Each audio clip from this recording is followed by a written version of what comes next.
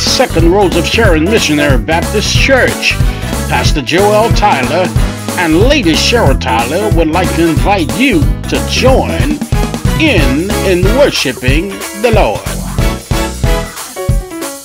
Sunday morning Sunday school, 11 o'clock a.m. Worship hour begins at 12 p.m. The Lord's Supper every third Sunday at 12 p.m.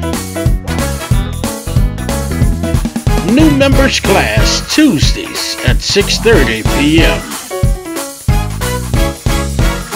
Prayer service Thursdays at 6:30 p.m. Bible study Thursdays at 7 p.m. Second Rose of Sharon, 1739 Gordon Street, New Orleans, Louisiana 70117. Contact Pastor Joel W. Tyler 504-473-6002 or visit www.srosmbc.org.